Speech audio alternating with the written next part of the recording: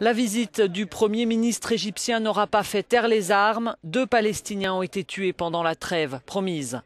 Hicham Kandil a fait une visite éclair ce matin à Gaza, promettant que le Caire allait intensifier ses efforts pour parvenir à un cessez-le-feu et qualifiant l'opération israélienne d'agression. Cette visite marque un virage à 180 degrés avec la politique du pouvoir précédent, celui de Moubarak.